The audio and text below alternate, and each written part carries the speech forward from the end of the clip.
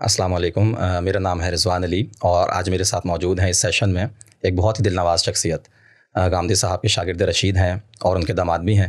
Gandhi centre of Islamic learning के रूह रवा हैं और गांधी साहब इस वक्त जो हदीस पे काम कर रहे हैं, उसमें उनके मुआविन की हैसियत से भी शामिल हैं।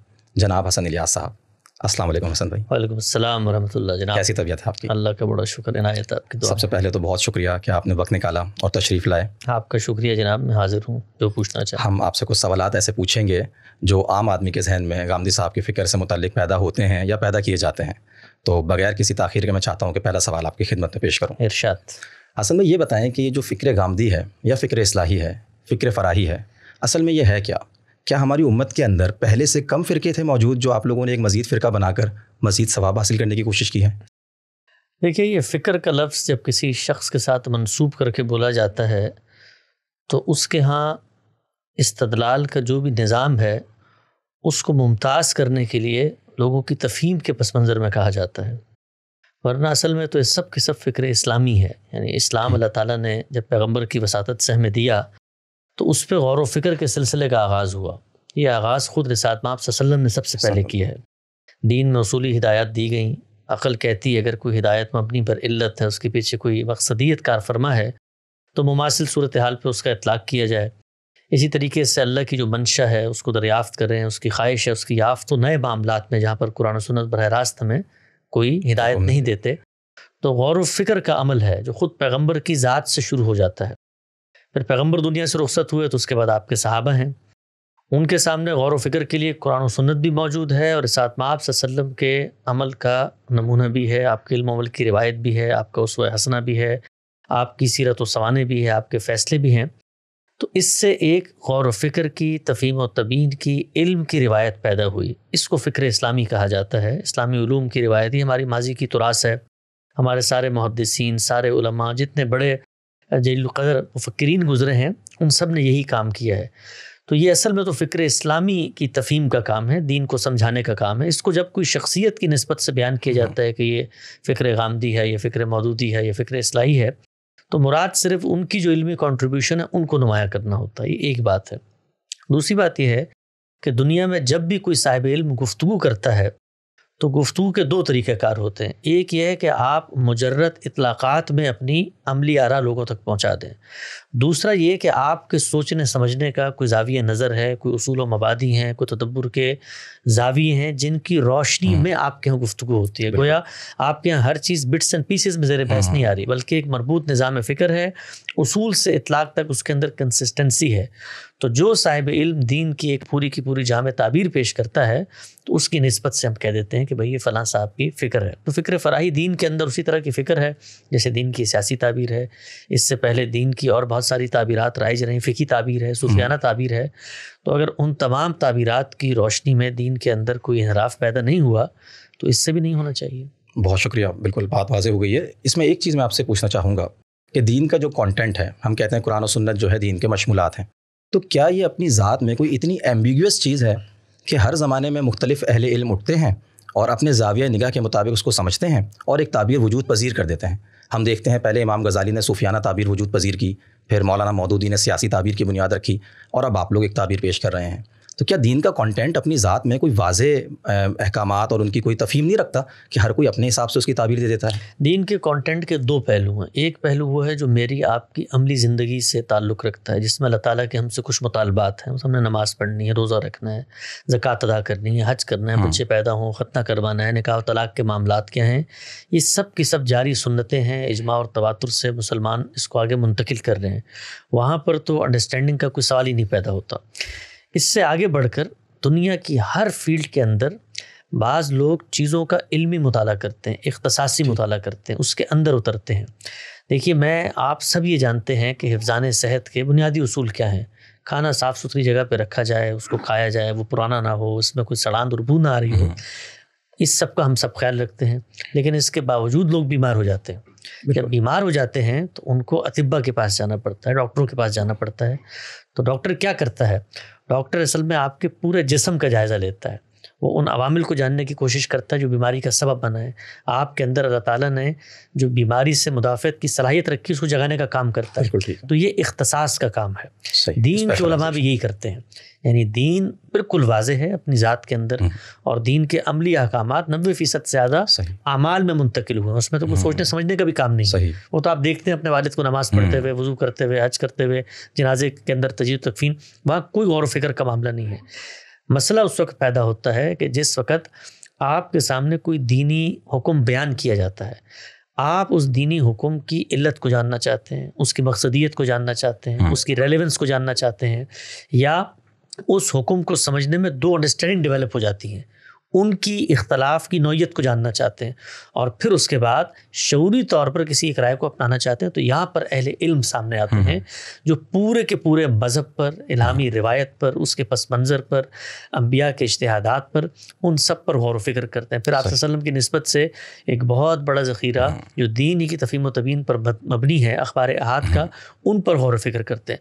अब गौर फ़िक्र करने का पहला नागुजीर तकाजा क्या है कि जिन ज़ुबानों के अंदर हैं उनका दर्क हो उस पर कुदरत मलका आपको हम्म। सोचने समझने की सकता तो आप भी ज़ुबान सीखेंगे। बिल्कुल अब आम आदमी तो ये नहीं कर सकता कि अपनी रोज़मर्रा की मुशक्क़तों को छोड़ के वो ज़ुबान बयान के मामला को हल करें। इसी तरीके से अगला जो नागुजीर तकाजा है वो ये कि जिस मसले पे आप गौर फ़िक्र कर रहे हैं उस पर आपसे पहले भी कुछ लोगों ने गौर फ़िक्र किया हो तो लिटरेचर रिव्यू का काम है। वो भी अरबी में है तो ताबीरात को पढ़ना गौर फ़िक्र करना ये इख्तसास का काम है। तो दीन कहीं पर भी एम्बिगस नहीं है हम्म। लेकिन दीन इस दुनिया में जिस तरीके से मेरा और आपका इम्तिहान है इसी तरह अहले इल्म का भी इम्तिहान है। हम्म। दुनिया के बारे में बात हमेशा जहन में रखें कि सिर्फ़ अमल का इम्तिहान नहीं है इल्म का भी इम्तिहान है। हम्म। तो जो लोग चीज़ों की बसीरत हासिल करना चाहते हैं चीज़ों को मरबूत करके पेश करना चाहते हैं। अपने हालात वाक़ात और ज़माने की रेलिवेंस से चीज़ों की मुताबिक हम्म। साबित करना चाहते हैं तो ये अल्लाह की किताब उनके लिए इल्मी और फ़िक्र का मौजू है। तो ये उनका काम है उनको करना चाहिए। आम आदमी को जिस वक्त कोई एम्बिक्यूटी महसूस हो हम्म। तो वो दो तीन ताबीरात होती हैं हमेशा। उन सब के पास जाए अहल इल्म की सोहबत में बैठे और उनसे उनके दलाइल को जानने के वो जो दलाइल वो बयान करते हैं उसकी बुनियाद इल्म और अकल के मुसलमत और कॉमन सेंस होता है। तो वो एम्बिग्यूटी बड़ी आसानी से बिल्कुल उसी तरह दूर हो सकती है। जिस तरह मैं बीमार हूँ तो दो तीन डॉक्टरों का इख्तलाफ राय मैं अपनी अकल की बुनियाद पर दूर कर लेता हूँ। ठीक है तो इसी ज़मन में एक सवाल यहाँ पैदा होता है कि मौलाना इसलाही ये फरमाते हैं कि जो आम आदमी है वो बड़ा खुलासा पसंद है। लेकिन जब हम देखते हैं कि गांधी साहब की जो फ़िक्र है वो एक पूरा मजमू निज़ाम फ़िक्र है। उसके पीछे एक इल्लत होती है बात नीचे से उठती है ऊपर तक जाती है।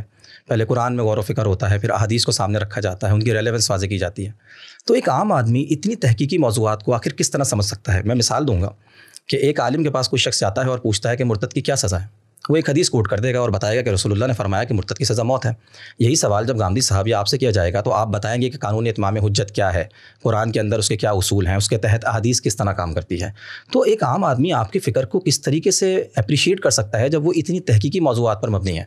सबसे पहली बात तो आम आदमी से ये होगी कि आपके जहन में सवाल पैदा क्यों हुआ कि मुर्तद की सज़ा क्या है? क्योंकि आपसे मतलब तो कोई सवाल नहीं है। लेकिन आजकल के माशरे में अगर देखा जाए तो वो कहीं पर कुछ पढ़कर उठेगा तो उसके जहन में शिकाल तो पैदा हो सकता है। बहुत अच्छा जवाब दिया आपने पढ़कर उठेगा। हम्म। गोया उसने किसी की ताबीर को पढ़ा है किसी की राय को पढ़ा है वो आम आदमी की हैसियत से आगे बढ़ के आम आदमी तो नमाज़ रोज़ा जक़ात हज करना था ना वो आगे बढ़ा। आगे बढ़ के उसने अपने इल्म को बढ़ाने के लिए किसी ताबीर का किसी शख्सियत की राय का मुताला किया। वहाँ से उसको मालूम हुआ कि मुर्तद की सज़ा होनी चाहिए। ठीक है। तो अब वो सज़ा के बारे में मेरे पास पूछने आ गया क्यों आए मेरे पास पूछने? अगर उसने सुन ली थी वो बात हम्म। इतमान हो गया तो वहीं पर रहता। इतमान उसका नहीं हो रहा अब नहीं हुआ इतमान तो वो मेरे पास आया है। जब वो मेरे पास आया है तो अब वो खुलासा पसंद नहीं रहा। अच्छा। वो आने के बाद मुझसे सवाल कर रहा है। अच्छा सवाल कर रहा है तो क्यों कर रहा है सवाल? अगर उसका उस बात पर इतमान था हम्म। इसका मतलब उसके अंदर कोई तरफ़ पैदा हुआ है। उसने कुरान मजीद पढ़ा होगा एक तरफ़ आयत बता रही होगी लायकरा फिल्दीन दूसरी तरफ़ कहा जा रहा होगा कतबीन रुश्त बिन गई।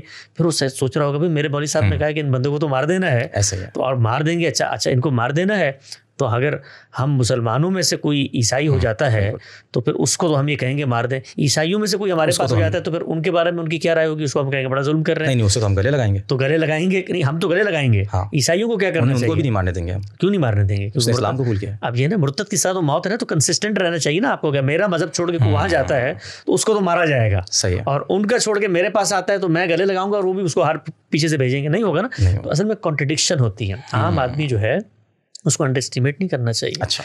वो खुलासा पसंद तो होता है इस बाब में कि आपने दीन की मजमू बात उसको बताती लेकिन जब उसने कोई इतला की राय समझी है हाँ। उस राय के बारे में उसको इस तरह पैदा हुआ है तो वो पैदा करने के बाद मेरे पास आ गया है। आप आ गया है तो कुछ सवाल मैं उससे करूँगा कि भाई क्यों आए हो? तो वो बताएगा ये इस तरह बात है तो मैं बताऊँगा कि देखो ये जो इस तरह बात पैदा हो रहे हैं ये दीन में पैदा ही नहीं होते। और सबसे बुनियादी चीज़ तेरे बहस आएगी जो दुनिया के हर इल्म फ़न में आती है वो ये कि बात का सबूत क्या है? तुमने बात सुनी है? हाँ। किससे सुनी हो? कहेगा मौली साहब से सुनी है। सही है। मौली साहब को वही आई थी या कि अल्लाह के पैगंबर का कोई इरशाद हो? कहेगा अल्लाह के पैगंबर का इरशाद है। पैगंबर का इरशाद है तो पैगंबर के इरशाद के बारे में खुद हमारे इल्म का इतफाक है कि उसके अंदर पाँच चीज़ों का जायज़ा लेना है। सही। दो कंटेंट से मुतलिक होंगी तीन बयान करने वालों से मुतलिक होंगी। भाई वो कुरान सुन्नत के खिलाफ ना हो हाँ। इल्म अकल के मुसलमात के खिलाफ ना हो। जो बयान करने वाला है उसकी सकाहत उसकी अदालत उसकी ये सब चीज़ें जेर बहस आएँगी हाँ। उसका हिफ्ज़ान जेर बहस आएगा सिलसिला सनत का इतसाल जेर बहस आएगा। तो ये सब चीज़ें बताऊँगा भाई जिससे सुन के आ रहे वो भी ये कहते हैं। हाँ। आप आओ कुरान में तो कुरान मजीद ये बात बता रहा है। तो जो बता रहा है बात उसका इस्तदलाल भी वो वो सुनने के बाद फिर इस तरह रहेगा तो मौली साहब के पास चला जाएगा। फिर उनसे तो फिर इससे पूछेगा तो इस तरीके से इल्म का सफ़र तय होता है। इससे कभी नहीं घबराना चाहिए ना आम आदमी को अंडर एस्टिमेट करना चाहिए। आम आदमी आम आदमी की जगह पर रहे नमाज़ पढ़े रोज़ा रखे हज करे कोई मसला नहीं है। वो जब इस मामले में जाता है कि मुर्तद की सजा तो असल में ये दीन का शौरी इल्मी मुताला है जो शुरू कर चुका है। तो अब उसके बाद तो सारे मराहल उससे उनको गुजरना पड़ेगा घबराने की ज़रूरत नहीं है बिल्कुल ठीक बिल्कुल सही ये बात वाजह हो गई। आम आदमी के हद तक तो ये बात हम समझ सकते हैं। लेकिन अगर मैं जितना आपको जानता हूँ तो आपका ताल्लुक एक बर सग़ीर के मुनफरद और बड़े ही एक इस्लामी घराने से है।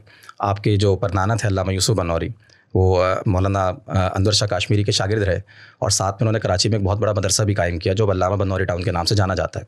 एक इतने बड़े मजहबी घराने में आपकी विलादत हुई।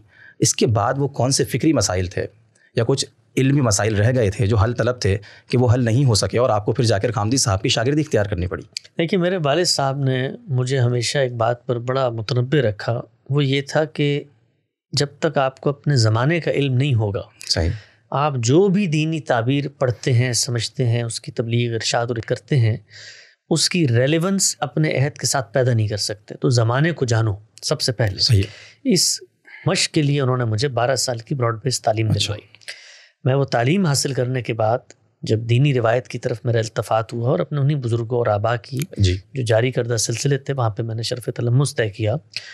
तो कुछ ही अरसे बाद मुझ पर ये बात वाज हो गई कि जो कुछ बयान किया जा रहा है ये इल्म अक़ल इस्तदलाल और मौजूदा हालात की मुताबकत से कहीं भी हम आहंग नहीं है। अच्छा। इस तरह पैदा होना शुरू हुआ। सही। जब इस तरह पैदा होना शुरू हुआ तो हम अपने इन्हीं उलमा की खिदमत में हाजिर होते थे। सही है। उनसे पूछते थे कि भाई ये जो बात आप बयान कर रहे हैं दीन के नाम पर ये मुमकिन कैसे है? सही है। इसकी अमली इफादियत क्या है? हम्म। इसका सबूत क्या है?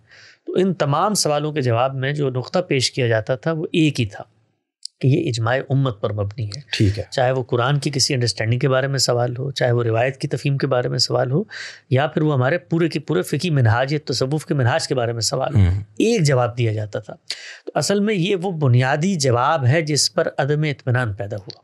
अच्छा। कि इतनी बड़ी तादाद लोगों की अगर कोई बात कर रही है तो वो बात तो इल्म और अकल के किसी मुसलमे में मबनी होगी ना? बिल्कुल ठीक है। या लोगों का जम गफ़ीर किसी चीज़ की दुरुस्त या गलत होने की अपनी ज़ात में दलील बन जाता है तो हमारा जो बुनियादी जिसको आप कहते हैं चटक पैदा हुई हाँ। दिमाग में उस नुक्ते से पैदा हुई कि इजमा दीन के बाब में तफहीम के बाब में इल्म और अकल के इस्तलाली मुकदमात के बाब में अपनी ज़ात में हजत नहीं बन सकता काबिल इतफाक बनेगा हाँ। इतनी बड़ी तादाद लोग गुफ्तु कर रहे हैं कोई वजह होनी चाहिए हम्म।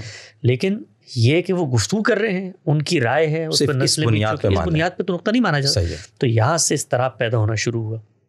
जब इस तरह पैदा हुआ तो फिर जो मुआसर अफकार हम्म। हमें दस्तियाब रहे कुछ चीज़ें पहले पड़ी हुई थी उनके लिंक्स वाजे होना शुरू हुए तो इस एक लंबा सफ़र है कई साल का को आठ दस साल गुजरे दौरे तालब इलमी हुए कि जहाँ पर फिर हमने गांधी साहब को दरियाफ्त किया और उनका जो पूरा का पूरा मिनहाज है जी। उसको पढ़ने का आगाज़ किया। और अभी भी उसी मिनहाज को समझने के सफ़र में दस पंद्रह साल गुजर गए मैं जारी हूँ। और बुनियादी नुकता यही है कि जो उसूल हैं उनकी इतलाक के साथ रेलिवेंस पैदा होनी चाहिए। जो दलाइल आप बयान कर रहे हैं उनको सोर्सेज में क्वालिफाई होना चाहिए। सही। क्योंकि अगर तो मैं कार्ल मार्क्स की फीसा गोरस की अफलातून की बात को मान रहा हूँ तो फिर तो मैं उनकी किसी भी रिवायत से उस बात को अखज़ कर लूँगा। अगर मैं खुदा की सनत से कोई बात कर रहा हूँ तो अभी खुदा ने बताना है कि वो क्या बात है कहाँ बयान हुई है। जब वो बात सामने आ जाती है तो आने के बाद हम्म, फिर कुछ इल्मी और अकली मुसलमात हैं जिनके ज़रिए से हम उनको समझते हैं। मसलन बात कुरान में आ गई है तो कुरान अरबी ज़ुबान में है। ज़ुबान आज के मिस्र शाम और इराक के अखबारों की ज़ुबान तो है नहीं ना हरीरी मुतनबी की ज़ुबान है अरब जाहिली की ज़ुबान है। ज़ुबान को समझेंगे। फिर ज़ुबान को समझने के कोई मुसलमा आफाकी उसूल हैं भाई लफ्ज़ है तो उसका मानी है तवादुर से मुंतकिल होता है। उसका एक कॉन्टेक्स्ट है उसका स्याक व सबाक है। कलाम के अंदर आके अल्फाज मानी बयान करते हैं। तो इससे बुनियादी जो स्ट्रक्चर है उसने मुतासर करना शुरू किया। गांधी साहब ने अपनी पूरी की पूरी दीनी तफीम को दो जगहों पर बयान किया है। उनकी किताब मीज़ान में उसूल आबादी का मुकदमा है ठीक है। और एक दीन हक का मुकदमा है। तो उन दोनों में बताया कि गौर व फ़िक्र के उसूल क्या हैं। सही। और गौर व फ़िक्र के नतीजे में दीन का मजमू शाकला क्या बनता है। ताबीर क्या बनती है तो ये वजह हुई उनके इल्म ने मुतासर किया और जिस वक्त मुतासर किया तो फिर हमें मजबूर होकर ये कोई हमारी कुर्बानी है सेक्रीफाइस नहीं है। हमारे सामने कोई रास्ता ही नहीं था कि फिर हम उस फ़िक्र को ना सिर्फ़ ये कि अपनाएँ बल्कि उसकी दावत और तबलीग इस दुनिया के अकनाफ आलम तक पहुँचाएँ। बहुत शुक्रिया। बहुत अच्छे तरीके से आपने बात वाजी की। यहीं पर आपने ज़िक्र किया गांधी साहब की किताब मीज़ान का। तो इसकी नस्बत से मैं ये पूछना चाहूँगा कि इस किताब की नौीयत क्या है नंबर एक? नंबर दो गांधी साहब ये दावा करते हैं कि उन्होंने अपने पूरा जो दीन है दीन इस्लाम है वो इस किताब में बयान कर दिया है। सात सौ सफ़े की किताब में पूरा दीन इस्लाम को बयान करना ये मुमकिन किस तरह है नंबर दो? और तीसरी बात आप ये बताइएगा कि इसके लिए वो कहते हैं कि सत्रह साल की मुद्दत उन्होंने सर्फ की। तो क्या सात सौ सफ़े की किताब के लिए इतने लंबे अरसे की रियाजत? ये बात को समझ में आती है। हमारे असल में बर सग़ीर में पिछले 200 साल बहुत कॉन्फ्लिक्ट और इसतराब के साल गुजरे हैं। इसमें हमारा तहजीबी जवाल हुआ है। इस तहजीबी जवाल के बायस हमारा जो अपनी तारीख़ और उम्मत की जो इल्मी रिवायत थी उससे भी जो ताल्लुक़ है उसका इनकता हुआ है। ठीक है। उसके नतीजे में दीनी ताबीरात क्या होती हैं? बड़े लोग अफकार कैसे पेश करते हैं? वो अफकार कैसे एक उसूली निज़ाम फ़िक्र में ढल कर पूरी की पूरी दीन की एक जाम ताबीर देते हैं? इन तस्वुरात से भी हम बहुत दूर हो गए। इस्तखला से वतन की तहरीकें थी सियासी कशमकश थी मजहबी उलमा को हज़ार साल इकतदार का इन्फाक हो चुका था तो उसके बाद सारी जदोजहद शॉर्टकट्स में इकतदार के हसूल था। सही। उस पस मंज़र में दीन की एक बहुत बड़ी ताबीर और लिटरेचर भी सामने आया। बिल्कुल। तो उस लिटरेचर को जब आप पढ़ते हैं और बेशुमार आपको बिखरी हुई सैकड़ों हज़ारों किताबें मज़हब इस्लाम पे लिखी हुई नज़र आती हैं तो ये फ़र्क करना बड़ा मुश्किल होता है कि दीन की रेफरेंस और सोर्स बुक्स क्या हैं अंडरस्टैंडिंग के हवाले से और जो सेकेंडरी लिटरेचर है उसकी तफीम तबीन पर लिखा हुआ है वो क्या है? तो उस पस मंज़र में अगर आप देखें तो मीज़ान हज़ारों इस्लामी किताबों में लिखी हुई एक किताब है। सही है। लेकिन अगर आप पूरी उम्मत के इल्म का जायज़ा लेते हैं और आप ये जानते हैं कि बड़ी ताबीरात को क्या चैलेंजेस दरपेश रहे हैं सही। और उन चैलेंजेस को किस साहिब इल्म ने उस सतह पर जाकर टैकल किया है तो फिर आप पर उस किताब की अहमियत वाजे हो जाती है। सही। मिसाल के तौर पे आप ये देखिए कि पूरी उम्मत को चंद बड़े मसाइल मैं निशानदेही कर। देता हूँ। इस वक्त उसकी तोज़ी का मौका नहीं हमारे एक फाजिल दोस्त मौलाना मार खान नासिर अच्छा। ने इसी मौजू पर एक किताब लिखी है कुरान सुन्नत का बाहमी ताल्लुक। और उन्होंने बताया उम्मत की बिल्कुल इब्तदा से हम शाफी से उसका आगाज़ करके हम्म, ये बताया है कि वो क्या बड़े मसाइल हैं कुरान और सुन्नत के बाहमी ताल्लुक को दरियाफ्त करने में जो पूरी उम्मत की चौदह साल रिवायत में खड़े हुए हैं। चैलेंज की सूरत में। चैलेंज की सूरत में खड़ा और हर साहिब इल्म उनसे नम्रता आजमा हो रहा है उनका जवाब दे रहा है। तो गांधी साहब ने उन सवालों को मौजू बनाया जो ठीक। लायनल मसाइल थे। और ना सिर्फ़ ये कि मौजू बनाया है तो उसके साथ साथ पूरे दीन के अमली मुतालबात क्या हैं? हम्म, ये जिस वक्त हम तक पहुँचते हैं तो इनमें जो जो रिवायात पैदा हो गई हैं उनकी आमेजिश हुई है। मसलन तसव्वुफ है. मसलन फ़िक है मसलन इल्म कलाम है हम्म। मसलन तारीख़ है मसलन फ़लसफ़ा है। हम्म, ये सब की सब चीज़ें मिलकर जो दीन का कंटेंट था उसकी ताबीर देखिए ताबीर इंसान ने करनी है। इंसान जब भी किसी इल्म को आगे मुंतकिल करता है तो वह अपने हालात वाक़यात और ज़माने के इल्म की रियायत से कर रहा होता है। और इसके साथ साथ वो ट्रायल और एरर से भी गुजर रहा होता है। तो उस सबको सामने रख कर असर नौ तौर पे अच्छा, प्योरिफिकेशन का काम करना। तस्कीर का काम करना। चीज़ों को अलग अलग करके बयान करना हम्म, तो ये पूरा का पूरा अमल है जो मीज़ान में हुआ है तो मीज़ान बज़ाहिर तो 700 800 सफ़े की हाँ। किताब है लेकिन उस किताब के पीछे उम्मत का 1300 साल इल्म खड़ा है और गामदी साहब ने जब अब उनकी बहसों को बताना शुरू किया है जी। अपने पूरे के पूरे इस्तदलाल को समझाना शुरू हम्म। किया है तो चंद मौजूद पे जो इतलाकी तौर पे मीज़ान में चंद लाइनों में बयान हो गए हैं उस पर हमें कई सौ घंटों की गुफ्तु करनी पड़ी। सही। आपने देखा होगा तेईस सत्रह हज़ार सीरीज़ में। तो इससे ये अंदाज़ा होता है कि ये ये ये किताब महज एक किताब नहीं है बल्कि ये उन नुमाइंदा दीन की ताबीराती किताबों में से एक किताब है जिसने उम्मत में मज़हब की मनहसलमजमू एक ताबीर पेश की। मेरा ख्याल है गांधी साहब ने जब ये किताब लिखी थी तो शायद उनके पेश नज़र भी ये था कि वो बाद में इसकी तफ़ीम के लिए अलग से इसकी प्रेजेंटेशन और सेशंस करेंगे और उसकी तफ़ीम अलग से उसको पेश नज़र रख के आगे फिर सिलसिले को बढ़ाएँगे। हाँ। शायद यही वजह है कि उन्होंने बाद में इसके लिए कुछ वीडियोज़ वगैरह भी फिर उनकी ऐसी मौजूद पढ़ाने का सिलसिले का आगाज़ किया इसलिए कि जब कुछ साहिब लिखने बैठता है अगर वो उस तरीके से मौजूद को लिखे जिस तरह से हमारे यहाँ पी के मकाले लिखे जाते हम्म। हैं तो एक तो ये है कि वो आवाम के लिए कोई काबिल फहम चीज़ नहीं होती। दूसरा वो फिर किताब नहीं रहती। वो फिर एक बहुत मुफसल थीसिस बन जाता है उस लिहाज से हम्म। अगर आप देखें तो फिर तीस चालीस जिल्दों में इस किताब को होना चाहिए। अच्छा। तो गांधी साहब ने जो अपना इस्तलाल के उसूल हैं उनको बयान किया। सही। उन उसूलों की रोशनी में जो उनके इतलाक़ात हैं उनको बयान किया। उसमें जो दरमियान का सफ़र है और उन मामला को उम्मत की इल्मी रिवायत ने कैसे देखा है वो वहाँ जेर बहस नहीं है सही उसको बहुत अच्छा अभी मौला मारखन नासिर अच्छा। ने उसी किताब के तोज़ी हवाशी लिखना शुरू अच्छा। किए हैं जिसमें बताया कि इन बहसों की अपना पस मंज़र क्या है? ठीक है। तो कोई शख्स अगर उसको पढ़ना चाहता है मीज़ान को तो इन तमाम चीज़ों को पेश नज़र रख के उसको पढ़ना चाहिए। बहुत शुक्रिया बहुत ज़बरदस्त आपने जवाब दिया बात वाजे हुई। इसमें एक चीज़ बताइएगा कि गांधी साहब अक्सर इस बात को बयान करते हैं कि मीज़ान के अंदर तकरीबन बारह सौ के करीब रिवायात हैं। रसोल्ला सल्ला वसलम की अहादीस है जो उन्होंने नकल की। एक शख्स इतनी रिवायात अपनी सबसे बड़ी किताब के अंदर मेजर वर्क के अंदर लेकर आता है और उनका कुरान सुन्नत के साथ रिलेशन वाजे करता है। लेकिन उसके बावजूद हम देखते हैं कि उम्मत का एक बड़ा गिरोह या उलमा कराम या मौजूदा जो हमारी मजहबी रिवायत है वो सबसे पहला जो इल्ज़ाम उस पर लगाती है वो मुनकरी हदीस का है कि ये शख्स तो मुनकरीन हदीस है ये हदीस को नहीं मानता। ये दो चीज़ें आपस में इतनी ज़्यादा मुतजाद हैं कि आम आदमी समझ नहीं पाता कि जाए किस तरफ़। ये क्या मखमसा है हसन भाई? इससे निकालिए ज़रा। हाँ इसका जो वजह है उसमें जो तमीदी नुकता मैंने थोड़ी देर पहले बयान किया था कि इस वक्त उम्मत के इल्म पर दौर इब्तला है। और इस दौर इब्तला में सियासी मजहबी तहरीकें हमारे वो जो दीनी मदारस थे जो उम्मत की इल्मी तुरास से लोगों को मुतारफ़ कराने का बायस बनते थे वो उस सबसे इस वक्त काटने का बायस बन गए हैं। तो लोग उन पस मंज़र की बहसों से वाकिफ़ नहीं है जो हदीस के बाब में हुई है। उस इल्मी इख्तलाफ से वाज नहीं हैं जो उम्मत में हमेशा से चला आ रहा है। तो तहफ़ की नफसियात है। बर सग़ीर अच्छा। में जिस वक्त अंग्रेज़ आए और उनका तसलुत यहाँ पर कायम हो गया तो यहाँ पर उलमा ने एक बड़ा शौरी फ़ैसला किया। वो फ़ैसला ये था कि हमने अपने तहजीबी विरसे को अपनी अगली नस्लों को मुंतकिल करना है। तालुम देवबंद की बुनियाद भी इसी फ़िक्री पस मंज़र और तहफ़ की नफ्सियात में पैदा हुई है।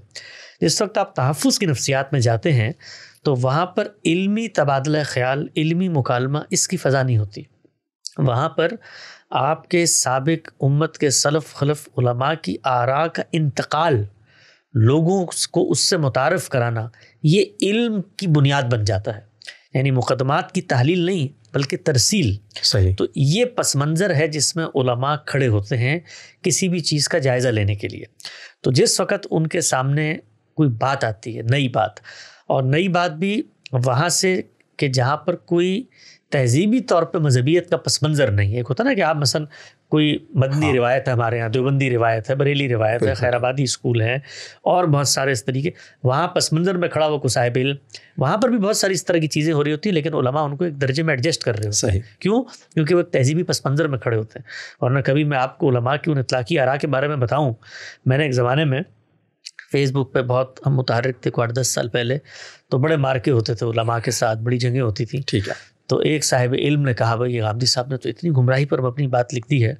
तो मैंने उसका कुछ तबीयत में थोड़ा सा बचपना भी था तो मैंने उनको एक इकतबास निकाल के भेजा। और मैंने उनको कहा कि जो बात आप कह रहे हैं कि इतनी मुतबाइश कर रही है यही बात तो मौलाना थानवी ने भी लिखी है। सही। तो उनका मुझे जवाब आया कि सुबह अल्लाह हज़रत ने तो कलम तोड़ दिया और मुझ पर बात बिल्कुल वाजे हो गई। ठीक है। तो फिर थोड़ी देर बाद मैंने उनको बताया कि ये इकतबास मौलाना थानवी नहीं बल्कि मौलाना इसलाही का था। तो उसके बाद वो मुझे कभी नज़र नहीं आया ना उन्होंने मुझे कोई जवाब दिया और ना उन्होंने इस बात को तस्लीम किया कि जिस चीज़ की मैंने तहसीन की थी हम्म। वो तहसीन तो अपनी जगह कायम रहेगी ना क्योंकि कंटेंट तो एक है शख्सियत के लेकिन जैसी शख्सियत बदली। हम्म। तो तासुरात बदल गए। तो हमारे यहाँ भी बिल्कुल यही मामला है। तो गामदी साहब ने जिस वक्त हदीस के बारे में आरा को पेश किया है तो उलमा एक तो इस चैलेंज के पस मंज़र में खड़े हैं कि अपने इल्मी विरसे को बचा कर मुंतकिल करना है।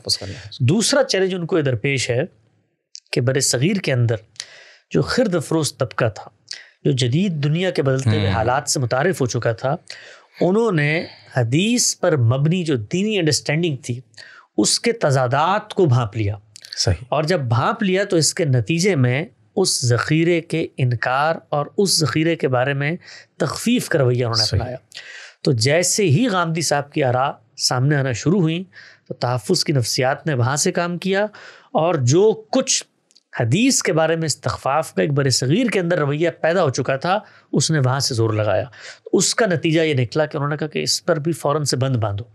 यानी ये ना हो कि ये शख्स भी वही बात कर रहा हो जो बाकी लोग बात कर रहे हैं और तहफ़ अपनी जगह पर मौजूद था। सही तो उसके नतीजे में उलमा में एक रद्दमल पैदा हुआ। इब्तदा में उन्होंने लेबलिंग की कोशिश की ठीक है। और ये सोचा कि शायद हम उन्हीं फितरों के साथ इनको हम हम करके कर इनकी ज़ुबान बंदी कर देंगे और लोगों को मुतवाइश करेंगे कि इस तरह के हम्म। लोगों की बात ना सुने।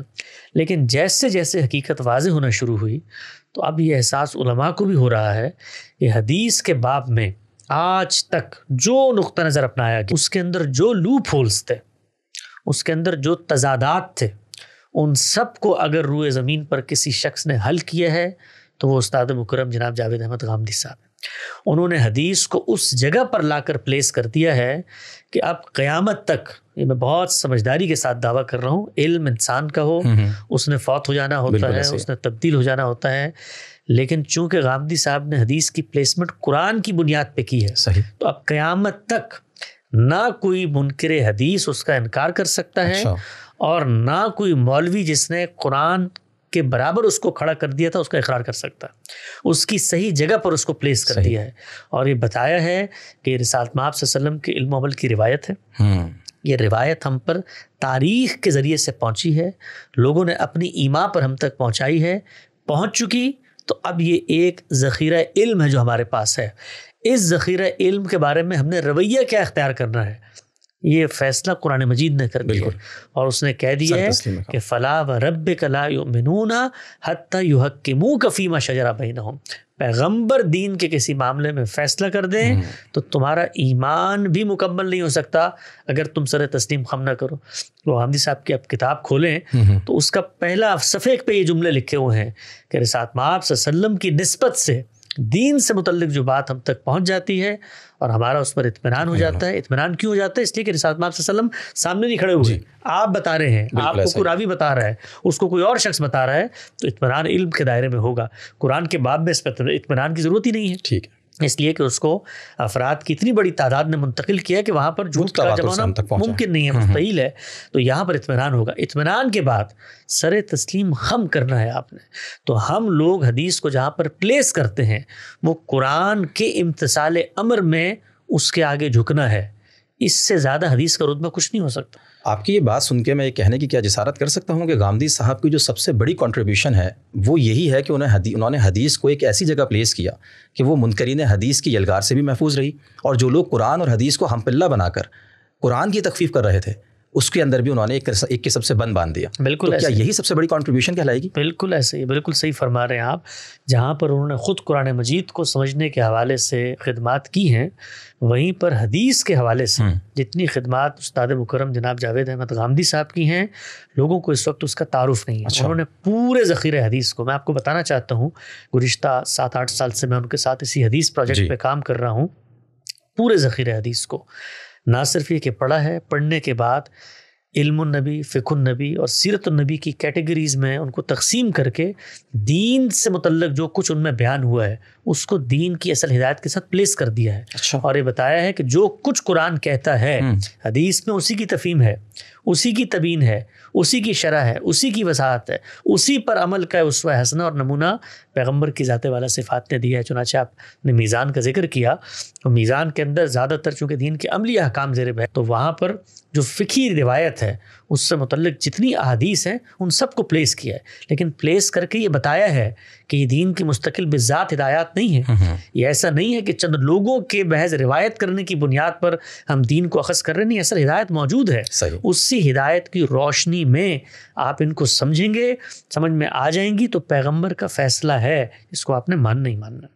ये तो बहुत ही बात ही मुख्तलिफ़ हो गई आमतौर पर तो ये बताया जाता है कि गांधी साहब हदीस को नहीं मानते लेकिन जो बात आप बयान कर रहे हैं उससे तो ऐसा महसूस होता है कि गांधी साहब हदीस की हिफाजत के लिए जो बंद बाँध रहे हैं शायद आने वाले वक्तों तक इन उसको तोड़ा नहीं जा सकता जिस दिन उलमा को उलमा अपनी इस तहफ़ की नफ्सियात से निकलेंगे पूरी उम्मत के इल्म को अपना इल्म समझेंगे बड़े साहिबान इल्म के शाना बशाना खड़े होकर और मासराना चश्मक की रमक से हाँ। निकल कर चीज़ों का फ़िक्री मुताला करेंगे तो उनको अंदाज़ा होगा कि मकतब फ़राही ने हदीस के बाब में जो खदमात की हैं वो खदमात वाक़ ये है कि जब से ये ज़ख़ीरा हदीस सामने आया है जो कुछ इसकी अंडरस्टैंडिंग में लूप होल्स थे हाँ। उस सबको हल कर दिया ठीक है बिल्कुल ठीक है आपकी बात वासे है तो मुझे ये बताइएगा कि आपने क्योंकि एक बड़ा अरसा मदरसे में गुजारा वहाँ से आप फारिग तहसील हुए तो आप क्या समझते हैं कि जो आज की मजहबी रिवायत है इसके अंदर फ़िक्री इख्तलाफ की क्या कदर कीमत मौजूद है? क्योंकि हम देखते हैं कि सल्फ़ के अंदर तो इसको बड़ी कदर की जाती थी इस बात की।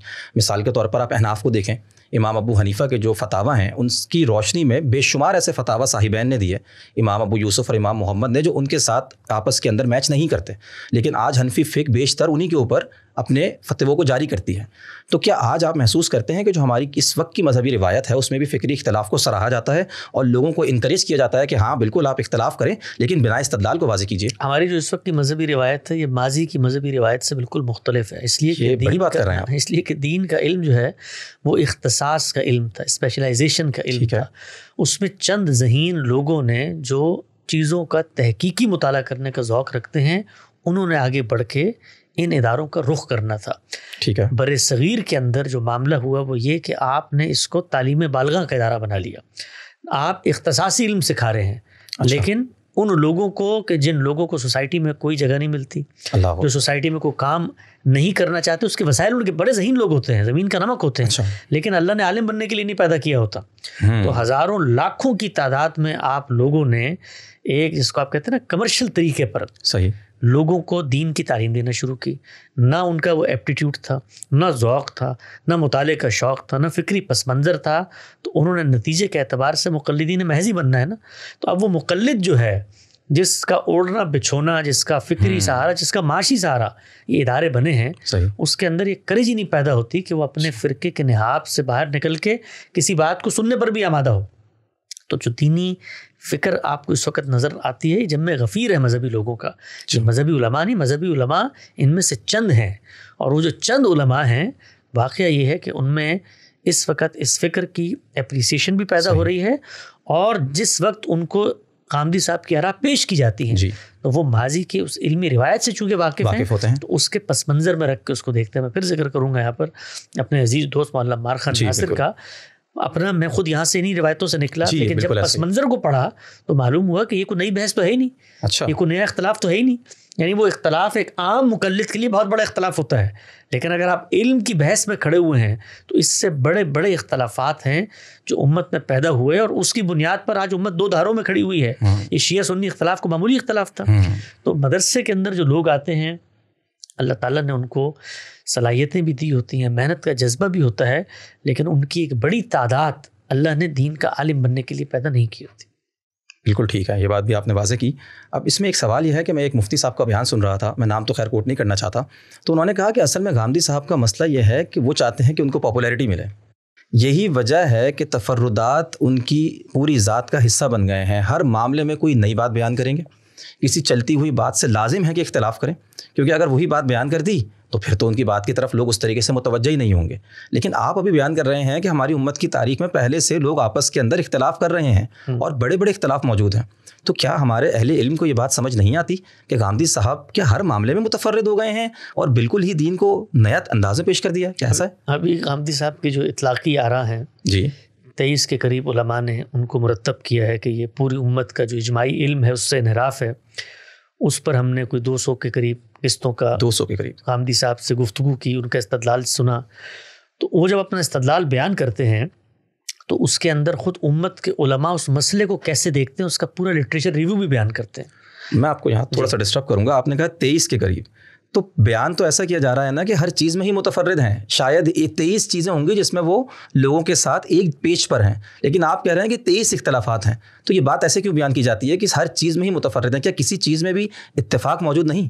इतफाक़ तो जब आप तलाश करने जाएँगे तो आपको इतफाक़ मिल जाएगा। अच्छा। लेकिन अगर आप इतफाक़ तलाश करने की नीयत से नहीं गए तो आपको कहीं इतफाक़ नहीं मिलेगा। सही। बस दीन का सबसे बड़ा सवाल ये है कि दीन की हकीकत क्या है? बिल्कुल ठीक है। उसमें कोई इख्तलाफ है? कोई नहीं। दीन की जो ईमानियात से मुतल चीज़ें हैं चीज़ें उनमें कोई इख्तलाफ है? बिल्कुल नहीं। अच्छा पैगम्बरों की जो पूरी की पूरी इलामी रिवायत है उन पर ईमान रखने में कोई इख्तलाफ है? अच्छा जिसने ये दीन दिया है उसकी इस दीनी हैसियत की हजत में कोई इख्तलाफ है? जो दीन दिया गया है उसके जो माखज उम्मत के उलमा बयान कर रहे हैं हम उनसे इख्तलाफ करते हैं कुरान सुन्नत पर मबनी जो चीज़ें हैं वो सब की सब मुतफ़िक हैं। हम्म। उम्मत के अंदर जो दीन के अमली अहकाम है वो हम्म। सुन्नत से मुंतकिल हुए हैं। वो भी कोई सुन्नत की जो हम्म। फहरिस्त हम बयान करते हैं जी। उसमें से कोई एक सुन्नत ऐसी हो। बड़े मैं जिम्मेदाराना अंदाज में अर्ज़ कर रहा हूँ और बड़े हम्बल अंदाज में कि एक सुन्नत ऐसी नहीं है जिस पर उलमा उंगली रख कर कह सकें कि इसको तो हम सुन्नत मानते नहीं थे उन्होंने दिन में बाहर से कर लिया। ठीक है? तो ये सब की सब बातें उस वक्त होती हैं कि जिस वक्त आप आवाम को मुखातब करते हैं अच्छा। इल्म की दुनिया आवाम की दुनिया नहीं है। जब आप इल्मी इख्तलाफात को आवाम में लेके आते हैं तो आवाम में इन इख्तलाफात की पजीराई के फिर कुछ नेचुरल तकाजे हैं। उसमें आपने तहमत भी लगानी है नीयत महरक़ात को भी जानना है उसमें आपने लोगों के अज़ाइम को भी मुतलक करना है और मुबालगा भी करना है लोगों का मौक़ भी गलत बयान करना है। इसलिए कि जब तक आप ये नहीं करेंगे आवाम में आपकी पजीराई नहीं हो सकती। ये जो कहा ना अच्छा, आपने कि साहब ये काम पजीराई के लिए करते हैं जो शख्स ये इल्ज़ाम लगाता है हम्म। आवाम में जाके लगाता है ना उसके लिए नागुजीर मजबूरी है कि जब तक वो ये ना कहे उस वक्त तक आवाम में पजीराई नहीं होती। आवाम बात सुनने पर आमादा नहीं होते जब तक आप गाली ना दें जब तक आप तोहमत ना धरें तो ये मजबूरी हमारे साहिबान इल्म की है कि वो जिस वक्त साहिब इल्म से इख्तलाफ करते हैं। भाई सीधी सी बात है वो आगे बढ़ के कहें कि गांधी साहब की नाराज़ में इख्तलाफ है। और बिना इस्तलाल वाजे करें। बिना ना कि ये कि वो उनकी नीयत के बारे में तहमत लगाएँ कि ये तो किसी और पस मंज़र की वजह से पॉपुलरिटी हासिल कर रहा है। उसकी दो दूसरी वजह एक और भी होती है वो ये कि वो निज़ाम इस्तलाल के वो पता नहीं होता क्या है। वो पता करने के लिए पढ़ना पड़ेगा। वो पढ़ने के लिए किताबें खोलनी पड़ेंगी। वो किताबें खोलने के लिए जो कशमकश आपने दीनी माहौल में पैदा कर दी है उससे वो सरफ नज़र करना पड़ेगा। तो ना मुताले का वक्त है ना पढ़ने का वक्त है ना तहकीक का वक्त है। आपके कान में एक बात यहाँ से पढ़ी वहाँ से पढ़ी जुमे का मेंबर आपके पास है वहाँ पर आपने ज़ोरदार आवाज़ में तकरीर कर दी।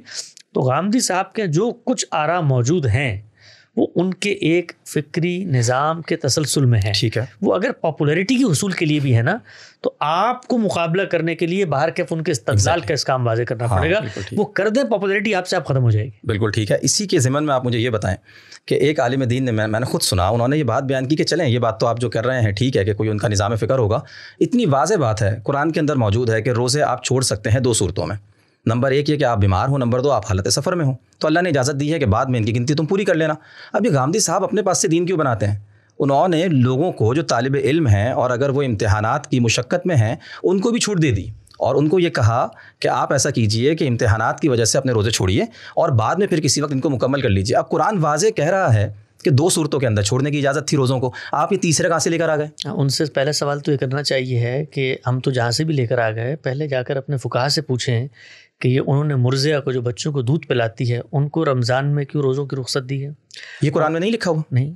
उन्होंने हामला को जो जिसके पेट में हमल है जी। उसको किस उसूल पे रोज़ों के अंदर रुख्सत दी अगर कुरान मजीद के अंदर यही दो बातें बयान हुई जो आपने बयान किया मरीज़ और मुसाफिर की तो पहला सवाल तो अपने बुज़ुर्गों से होना चाहिए ना उसके बाद हमारे पास उनसे तो किसी ने सवाल नहीं किया। क्यों नहीं किया? उनको शायद पता ना हो। नहीं पता क्यों नहीं होगा? यानी वो अपने इल्म को जानते हैं इस पूरे के पूरे तसलसल को जानते हैं ये वही चीज़ है कि आप इग्नोर करते हैं इस बात को। पहला नुकता तो ये है जी, जी. कि पहले तो गांधी साहब से बाद में पूछेंगे हम कि उन्होंने किसी शख्स को मुशक्क़त पे क्यों रुख्सत दे दी? पहले तो खुद अपने इल्म के पस मंज़र में जाकर ये देखें कि क्या फ़ुका इसको ऐसे बयान करते हैं? क्या उलमा इसको ऐसे बयान करते हैं कि मुसाफिर से मुराद सिर्फ़ मुसाफिर है और मरीज़ से मुराद सिर्फ़ मरीज़ है? क्या मुर्जिया मरीज़ा होती है कि हामला मुसाफरा होती है किस बुनियाद पर रुख्सत दी है? ये पहली बात। दूसरी बात ये कि रुख्सत है सफ़र है नमाज़ के बाब में आप जाकर देखें वहाँ पर क्या है?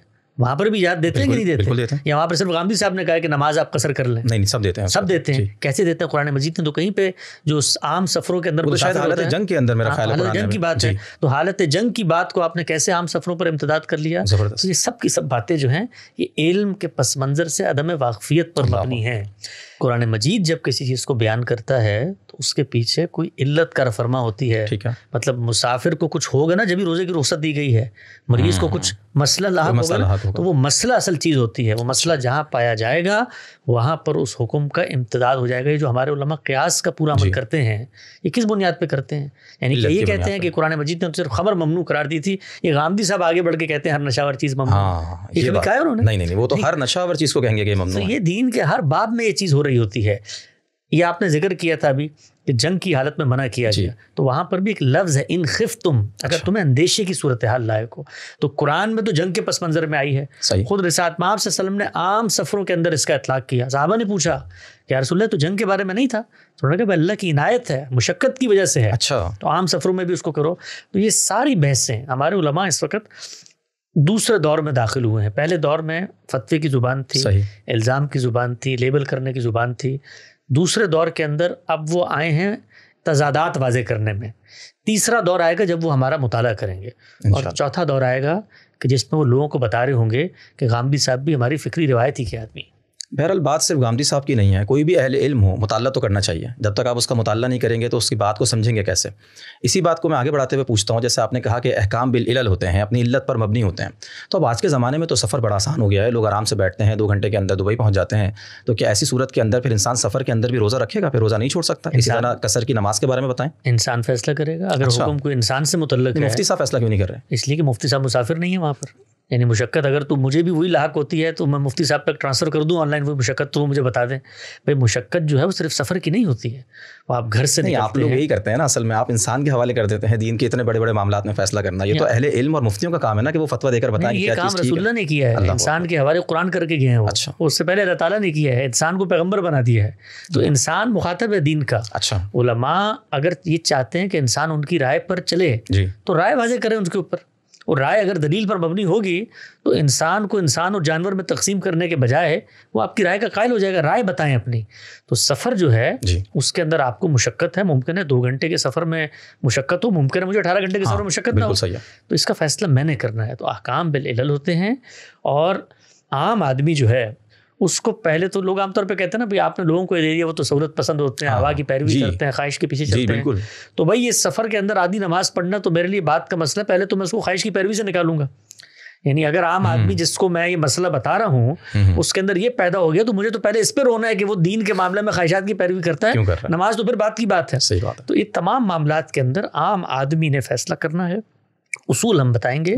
उलमा रहनुमाई करते हैं उलमा लोगों को दावत देते हैं कहीं पर गलती होती है तो मुतनबे कर देते हैं बताते हैं कि नमाज़ जैसा मामला अहमियत का मामला इन सलात खाना तलमिन किताब मौकूता इसको कज़ा नहीं करना चाहिए है और इसके अंदर डंडी भी नहीं मारनी चाहिए। अल्लाह से ताल्लुक़ का इजहार है मौका मिले पूरी पढ़ लो सफ़र में अल्लाह की नायत इसको अपना लो। बिल्कुल ठीक है। मैं बस आखिर के चंद सवाल हैं जो आपकी खिदमत में पेश करने की जसारत करूँगा। मुझे ये बताइए कि गांधी साहब कहते हैं कि हम किसी भी फेल के कुफर को या शिरक को तो वाजे कर देंगे, लेकिन जो शख्स उसका मुर्तकब हो रहा है, क्योंकि वो तावील की बुनियाद के ऊपर किसी गलती में मुबतला हो सकता है तो इसलिए हम उस शख्स को काफिर या मुशरक नहीं कहेंगे। तो ज़रा इसकी वजाहत कीजिए, ये कि ये कैसा एक मखमसा है कि फेल को मान रहे हैं, फ़ाइल को नहीं मान रहे? जी ये जो हमारे पूरी बहस की जाती है तकफीर की इस पर मैं चंद बुनियादी बातें अर्ज़ कर देता हूँ। बहुत तफसील से गांधी साहब ने अपनी सीरी तेईस एतराज़ात में तकफीर पर गुफ्तू की अच्छा। देखिए इस दुनिया के अंदर अल्लाह ताला ने जब इंसान को भेजा भेजने के बाद पैगंबरों के ज़रिए से याद दहानी का एक सिलसिला जारी फरमाया उन पैगंबरों में से चंद को रसूल बनाया। ठीक है। उन रसूलों ने आकर जो काम आखिरत में होना था दुनिया के पर्दे पर भी करके दिखा दिया। यानी वही जजा और सज़ा वही अजाब। सही है। अब दुनिया के अंदर जजा और सज़ा होनी है ये एक पहलू है। इसके बाद एक दूसरा पहलू ये कि इंसानों में दो कंडीशंस होती हैं। इंसान या किसी चीज़ का इनकार करता है या किसी चीज़ का इकरार करता है। अगर वो इकरार करता है तो वो इकरार करता है अपने बयान से बताता है मैं इकरार कर रहा हूँ। अगर वो इनकार करता है तो वो इनकार करता है और अपने बयान से बताता है मैं इनकार कर रहा हूँ। पैगंबर जिस वक्त दुनिया में आते हैं तो आने के बाद वो लोगों के सामने हक पेश करते हैं। उनमें से एक ग्रोह उस हक का इकरार कर लेता है। सही है। और दूसरा ग्रोह आगे बढ़कर खुद ये कहता है कि हम इनकार कर रहे हैं। सही है। वो कहते हैं हम काफिर हैं। उस एतराज़ात सीरीज़ में आप देखें कुरान। मजीद के पूरे इस्तक़ाक को गांधी साहब ने खोल के रख दिया है कि वो कहते हैं हम काफिर हैं। अच्छा। तो जब कोई शख्स कहता है मैं काफिर हूँ और पैगंबर मौजूद है तो अब पैगंबर की मौजूदगी में उसके ऊपर कुछ अहकाम का इरतकब होना है। मसलन पैगंबर आए तो अजाब आएगा। पैगंबर की मौजूदगी में उसने हक को छोड़ दिया है मुर्तद हो गया तो उसकी सज़ा दी जाएगी। वो मुशरक है तो उसकी अलग सज़ा है अहल किताब है तो अलग वो वो इकरार की जगह पे खड़े हुए वो बता रहे हैं कि हम मुनकरीन हैं। सही है। तो मुमिन और मुनकरीन या मुसलमान या काफिर ये अपने इकरार से आदमी बनता है। यहाँ तक बात समझ में आ गई समझ आ गई है। इसके बाद पैगंबर के सामने जो लोग मौजूद हैं वो कहते हैं हम काफिर हैं। काफिर का मतलब क्या होता है? काफिर का मतलब ये होता है कि हम इनकार कर दिया आपकी बात। जानते बूझते इनकार कर रहे हैं। ठीक है। जानते बूझते इनकार कर इनकार कर रहे हैं। इनकार करने का नतीजा बयान कर रहे हैं कि क्यों इनकार कर रहे हैं। तो ताबील नहीं है। नहीं तावील नहीं है। वो दलील है है। इनकार की। मिसाल के तौर पर मुश्किन मक्का क्या कहते हैं कि माना इल्लाबूना जुल्फा। बिल्कुल भाई हम तो सिर्फ़ इसलिए इनकार कर रहे हैं कि ये जो बुत हैं जिनके बारे में तुम हमारे साथ आके लड़ते हो हम्म। ये तो हम इनकी इबादत इसलिए करते हैं कि हमें अल्लाह के करीब कर देते हैं। ये तो इनकार की दलील बयान कर रहे हाँ, हैं। बिल्कुल तावील नहीं कर रहे? नहीं नहीं। कि जी इनकार हम इसलिए कर रहे हैं कि आपकी जो कुरान मजीद आपने पढ़ के सुनाया है उसकी आयत की इस अंडरस्टैंडिंग से हम इस नतीजे पर पहुँचेंगे पैगंबर को नहीं मानना। ये नहीं कर रहे वो। नहीं ये नहीं कर रहे वो। तो ये सूरत हाल वाजे हो गई। इसमें जो शख्स इनकार कर रहा है, वो जानते बूझते कर रहा है। पैगंबर की मौजूदगी में, चूँकि उस पर आज़ाब भी आना है तो अब इंसाफ का तकाजा ये है कि उस शख्स पर आज़ाब आए जो इकरारी मुजरिम हो और जानते बूझते ये काम कर रहा हो। और ये दयानतदारी का तकाजा है कि अगर मैं उसको काफिर कहता हूँ तो मैं भी इस क्राइटेरिया को पूरा करूँ। क्या क्राइटेरिया है? कि या उसका इनकार खुद सामने आ जाए, या मैं उसके दिल के अंदर उतर के फैसला कर लूँ। दिल के अंदर तो हम नहीं उतर सकते अब पैगंबर नहीं है। अब दिल के अंदर अगर हम नहीं उतर सकते तो एक ही कंडीशन बाकी रह गई कि वो खुद आकर कहे कि मैं काफिर हूँ। ठीक है। अगर वो ये नहीं कहता तो मैं क्या करूँगा? मैं उससे पूछूँगा आप कौन है? वो कहता है मैं इस्लाम को नहीं मानता मैं मसीही हूँ। सही है। तो मैं कहूँगा आप मसीही हैं यानी गैर मुस्लिम है मुसलमान और गैर मुस्लिम। जी ठीक है। वो कहता है मैं यहूदी हूँ तो मुसलमान और यहूदी। मैं आगे बढ़ के उसको कहता हूँ तुम काफिर हो। हम्म, वो मुझसे पूछते हैं काफिर का क्या मतलब होता है? वो कहते हैं काफिर का मतलब होता है कि अल्लाह की दावत पहुँच जाए और जानते बूझते तुम उसका इनकार कर दो। वो कहते हैं दावत तो मुझ तक पहुँची नहीं आज तक। आपने मेरे बारे में कैसे फैसला कर लिया कि मैं काफिर हूँ? मैं तो अपने दीन पे खड़ा हुआ हूँ। हम्म, तो क्या मैं एक शख्स के बारे में जब ये फैसला नहीं कर सकता तो इस कायनात के अंदर जो अरबों लोग हैं उनके बारे में फैसला कर सकता हूँ? कि मैंने दावत पहुंचाई दावत की हुज्जत वाजे की उसके बाद उसने जानते बूझते इनकार किया दिल में मैं पहुँच नहीं सकता दावत मैंने पूरी पहुंचाई नहीं तो गोया अब मैं काफिर की इस्तेला इस्तेमाल ही नहीं कर गैर मुस्लिम की इस तरह इस्तेमाल कर गैर मुस्लिम हकीकत का बयान है। ठीक है। ये दो सूरतें हो गई। जी। इसके बाद एक तीसरी सूरत है कि एक शख्स आगे बढ़ के कहता है कि मैं मुसलमान हूँ आप ही की तरह मुसलमान हूँ। अच्छा। नमाजें पढ़ता हूँ रोज़ा रखता हूँ हज करता हूँ ज़क़़त देता हूँ सब कुछ करता हूँ। आपकी दीनी ताबीर मेरी दीनी ताबीर जिसको हम मानते हैं उसके अंदर कुछ तकाजे बयान हुए हैं। मसला तकाजा बयान हुआ है कि अगर रुए ज़मीन पर सईदना मसीह की आमद हो जाए तो हम सबने उनको मानना है। अच्छा ठीक है। तो भाई हम आपको ये बताते हैं कि फ़ला आदमी हमारी नज़र में सईदना मसीह है। ओहो। तो अब मैं क्या करूँगा उसके पास जाके? मैं तीन ही काम करूँगा। हम्म, पहला काम मैं ये करूँगा कि भाई अगर तुम ये दावा कर रहे हो अच्छा एक और दावे को भी रख लेते हैं ताकि कोई एक गुरु जेर बहस ना आए। एक और गुरु आगे बढ़ के कहता है कि भाई मैं मुसलमान हूँ नमाज़ पढ़ता हूँ मेरे हाथ में लाखों लोग मुसलमान हुए हैं। मैं आपको ये बता रहा हूँ कि जो ख़त्म नबूत हुआ है ना ये असल में सिर्फ़ और सिर्फ़ नबूत की जो ताबीर है उसमें जो पैगंबर आते थे उसका खात्मा उसका खात्मा हो गया। हकीकत मोहम्मद यह ज़िंदा है। ज़िंदा है। उसका हलूल होता है सही शख्सियात में। बिल्कुल ऐसे ही होता था जैसे मूसा के बाद उसका नायब हारून था। हम्म। तो यहाँ पर पैगंबर के बाद इसी नबूत के तस्वर में बाज नायबीन बन जाते हैं और उनको फिर अल्लाह ताला सलाहियत देते हैं कि वो आसमान के तारे भी गिन लें और आसमान से बैठ के चूंटियों के निशान भी देख लें। वही ये दावे करते हैं कि हमें कश्फ होता है इल्हाम होता है हैं। गैब का इल्म भी रखते हैं सारे कुछ हम काम करते हैं। फिर वो तोहीद का एक अलग तस्वुर पेश करें।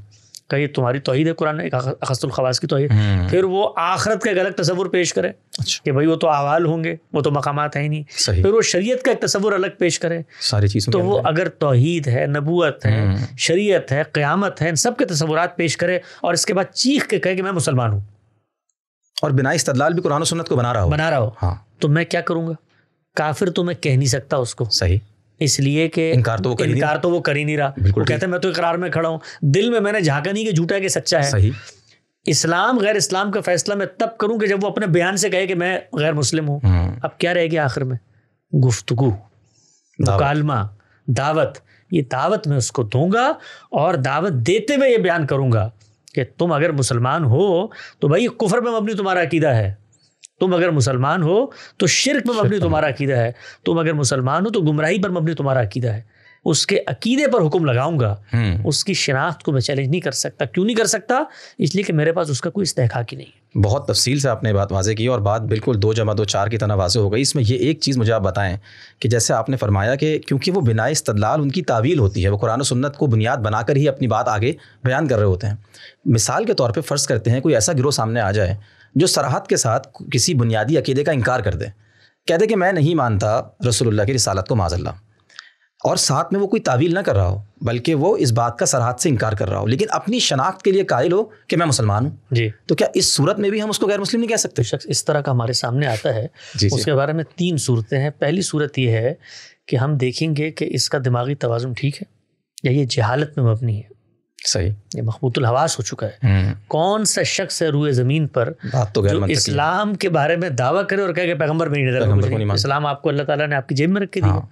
कहाँ है पैगंबर तो आज तक दुनिया में दुनिया की तारीख में कोई शख्स आपको ऐसा मिला कि जिसने आगे बढ़ के ये कहा हो कि मोहम्मद वसल्लम को मैं नहीं मानता? नहीं हसन भाई ऐसा शख्स मिला तो नहीं है। हम्म। लेकिन इसका इम्कान तो पैदा किया जा सकता है ना कि अगर ऐसा कोई शख्स सामने आए तो फिर क्या किया जाए? क्या तब भी नहीं कहेंगे? उसी इम्कान के बारे में मैं आगे बता रहा हूँ कि पहले तो कोई इस तरह का नहीं आज तक तो नहीं मिलता ठीक। आता है उसके बाद पाकिस्तान में हिंदुस्तान में दुनिया भर में शफा खाना अमराज दिमागी बने हुए हैं। वहाँ पर हम उसको लेकर जाएँगे। उससे उससे इस बारे में गुफ्तगू करने से पहले उसके दिमाग के बारे में जानेंगे कि भाई ये इतनी बेवकूफ़ी की बात कैसे कर रहा है। यानी इस्लाम तो नाम है सनत का खुदा की। वो कहता है सनत के बगैर मुसलमान हूँ। तो भाई मुसलमान किस चीज़ के हो आप? तो पहला तो ये है। दूसरी चीज़ क्या है? इकरा कुछ जबर में तो नहीं है? किसी ने उसकी बेटी को अगवा करके तो नहीं रखा और कहा कि मैं काफिर हूँ तुम जाकर मुसलमानों में तफरका डालो। तो अगर वो इकरा में है तो उसके बाद तो उस पर कोई हुक्म लगाने की ज़रूरत ही नहीं है। तो मजनून भी नहीं है इकरा भी नहीं है तो आखिरी सूरत रह जाती है जहालत। तो जाहिल के बारे में कहा जाता है कि उससे कभी बहस नहीं करनी चाहिए, क्योंकि इमाम शाफी ने फरमाया कि मैंने जब भी जो हालात से बहस की, मैं हार गया। हसन भाई, मैं थोड़ा सा इसमें एक चीज़ ऐड करूँगा, प्लीज़, अगर आप मुझे इजाज़त दें। मिसाल के तौर पर आप रसूलुल्लाह की रिसालत वाली बात को एक तरफ़ रख दीजिए। अज्यूम करें कि कोई शख्स ऐसा है जो कहता है कि मैं ख़त्म नबूवत का मुनकर हूँ और मैं कुरान की किसी आयत के ऊपर बिना इस्तदाल नहीं रखता। मेरे ऊपर अल्लाह की वही आती है और मैं अपने मुशाहिदे से बयान कर रहा हूँ भाई। मुझे कुरान की किसी आयत की तावील करनी पेश नज़र ही नहीं है। मैं सराहतन इस बात का इनकार कर रहा हूँ कि ख़त्म नबूवत नहीं है जिस मायने में आप ले रहे हैं। मुझ पर वही आ चुकी है और मेरा मुशाहिदा मेरे सामने मौजूद है। तो क्या इस सूरत में भी हम ये सारी तकरीर करेंगे? या कह सकेंगे कि भाई तुम गैर मुस्लिम हो? नहीं उस सूरत में हम उसको कहेंगे कि जो दीन हम जिसको जिससे वाकिफ़ हैं उसने हमें बता दिया कि वही का सिलसिला बंद हो गया है। ठीक है। लिहाजा पहले ज़रा इस आयत की तावील करो। ये तावील तो वो कर ही नहीं रहा। नहीं तावील नहीं कर रहा तो इनकार कर रहा है। इस, इनकार कर रहा है। तावील भी नहीं कर रहा गुफ्तगू भी नहीं कर रहा तो फिर वो तीनों सूरतें जिस पर हो अच्छा। जाएगा। इसलिए कि अगर वो मेरे पास आया है दीन का नाम लेके वो कहता कुरान को मैं मानता हूँ। हाँ ये तो कह रहा है वो। कुरान को मानता हूँ तो मैं तो कुरान ही पे गुफ्तु करूँगा ना। तो भाई अगर तुम कुरान को मानते हो तो क्या मानते हो कुरान को? कुरान को उर्दू राइटिंग की टेक्स्ट बुक मानते हो? या अल्लाह का कलाम मानते हो? अगर कलाम मानते हो तो वो कह रहे वही का सिलसिला बंद हो गया। तो वो लाजमन उस आयत की तावील करेगा। अच्छा। और तावील करके बताएगा नहीं इससे मुराद ये नहीं है आगे मेरे दायरे में आगे इल्म के दायरे में। उसके बाद ये गज और ये मैदान। बताएँगे जरा तावील करो जरा पढ़ो। खातम का मतलब क्या होता है? और फिर उसके बाद पैगंबर की नस्बत से बात करो लम यब का मैंने नबुआ का क्या मतलब है? तो ये सारी बातें वो करेगा। मैं वैसे आपको बता रहा हूँ कि ये इस्तेहाले दुनिया में कहीं नहीं पाए कोई इतना बेवकूफ़ नहीं होता जो किसी मज़हब के मानने वाले करोड़ों अरबों लोगों के सामने आके इस तरह की जहालत की बातें करना शुरू कर दे। हर जगह गलती होती है। और मैं फिर आपको आगे बढ़ के बताता हूँ ये जो लोग बड़े बेताब होते हैं ना इस तरह के लोगों को दायरा इस्लाम से निकालने के लिए जब उनको ये बताया जाता है कि जो कुछ गलती ये कर रहे हैं तुम्हारे बुज़ुर्गों ने भी की थी तो वहाँ- पर तावील ले आते हैं। नहीं, उनकी तो मुराद ये थी। नहीं वो तो ये कहना चाह रहे थे।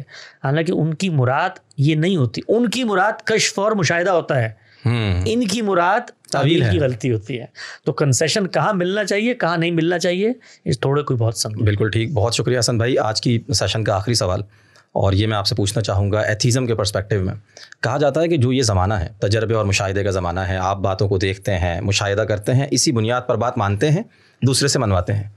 इस पस मंज़र में एक ऐसा दीन जो यु मिनून बिलगैब की दावत पर खड़ा है आखिर आम आदमी उठकर या एक अकलमंद आदमी एक इंटेलेक्चुअल किस बुनियाद पर उसको कबूल करेगा? वो तो गैप के ऊपर बात ही क्यों करेगा जब वो तजर्बे और मुशाहिदे की दुनिया में खड़ा है? कौन से तजर्बे और मुशाहिदे ने आज के इंसान को तमाम सवालों के जवाब दे दिए भाई? इंसान की तख्लीक से लेकर ख़ात्मे तक कौन सा बड़ा सवाल है जिसका जवाब मुझे तजर्बे और मुशाहे ने दे दिया है? मसलन मैं पैदा होता हूँ आटा गेहूँ दाल चावल खाता हूँ मादा होता है। मादे के अख्तलात से हयात पैदा होती है। हयात से शूर पैदा हो जाता है। कैसे हो जाता है भाई? साइंस बताती है ना कैसे? क्या कैसे बताती है साइंस? नहीं बताती। नहीं साइंस नहीं बताती। अल्लाह बिल्कुल नहीं बताती। साइंस ने आज तक इस दायरे में दाखिल होने की जिसारत तक नहीं की कि वो ये बताए। वो तो वो प्रोसेस बता रही है कि हो कैसे रहा है आमने सामने। क्यों हो रहा है? हम्म, सवाल ये है क्यों हो रहा है? हम्म, एक बैज़े और एक नुत्फे के अख्तलात से रूमी फिरदौसी और आइंस्टाइन क्यों बन रहा है? सवाल ये है। मादे में शूर कैसे आया? एक कदम कायनात के इल्म ने हम्म, जो तजर्बे बढ़ा और इस पे खड़े को आगे बढ़े? नहीं बड़े जरा बताएँ तो सही हमें। लेकिन लोग ऐसे ही पेश करते हैं कि सब कुछ हो हाँ गया वो सब कुछ हो गया सब कुछ होना। मैं अभी तो मैंने पैदाइश से आगाज़ किया तो अभी तो बहुत सवाल हैं आगे। आगे ज़िंदगी के सवाल हैं कायनात के कवानीन के सवाल हैं। ये जो कुछ दुनिया में हो रहा है प्लेटें हिलती हैं तो जलजला आते हैं आप बताते हैं। मैं हिलती क्यों है? और रखी किसने है वहाँ पर? क्यों बनाया है नक्स के साथ मामला? ये तो सवालात की एक दुनिया है। उसके बाद आप हमें आकर एतमाद से कहते हैं जी हमें हर चीज़ का इल्म हो गया है। कहाँ से इल्म हो गया भाई? आप माध्यम में हयात पैदा करें हयात में शूर लाएँ उसके बाद आप हम हम आपके इस दावे को काबिल इल्तफात समझेंगे और तब गुफ्तु का आगाज़ करेंगे। तो कुरान जो यू मिनूना बिलगैब कहता है इससे क्या मुराद ये होता है कि आँखें बंद कर लो तजर्बे मुशाहिदे को खैर बात कह दो और बस गैप पर ईमान ले आप बिल्कुल भी नहीं वो ये कहता है कि मीनू मिनून बिलगैब का मतलब ये है कि लोग अंधे तजर्बे और मुशाहिदे की बुनियाद पे चीज़ों को नहीं समझते वो बिन देखे हकीकत को अकल की बुनियाद पे जानते हैं। ये मुराद है। ये तो इंसान की सबसे बड़ी खसूसियत नहीं है। आपने दिखा दिया अभी भैंस को भी दिखा दो तो भी मान जाती सही है। बात है। मौलाना इस्लाई फरमाते थे कि इंसान का सबसे बड़ा इम्तियाज़ ये है कि वो सड़क पे गाड़ी चला रहा है और आगे से गेंद आ गई है। हाँ। तो उस गेंद को देख कर वो रफ्तार आहिस्ता करता है ये इस्तेमाल करते हुए कि पीछे को बच्चा भी भाग के आ रहा होगा। तो इंसान नाम किस चीज़ का है? अच्छा ये मौजूदा साइंस है हमारी। हम्म, ये मौजूदा साइंस के तजर्बे और मुशाहिदे पे खड़ी है सिर्फ़। इन्फ्रेंस का पूरा अमल जो होता है हम्म, उसके अंदर क्या हिस्सी मुशाहिदा होता है? हम्म, ये बड़ी बचकाना बातें हैं। इंशाल्लाह इन तमाम बातों के ऊपर भी बहुत जल्द हम इलाहात के मौजू पर अच्छा। एक सीरीज़ करने का इरादा रखते हैं जो कुछ बुनियादी इस्तदलात हैं। जी जी। उसके तारोपोत को उसी तरह बिखेरेंगे जिस तरीके से पैगंबर ने आके शिरक के तारोपोत बिखेरे थे। बहुत शुक्रिया हसन भाई आपका। हम बहुत शुक्रगुजार हैं कि आपने अपना वक्त निकाला। आपकी इनायत आपकी मोहब्बत।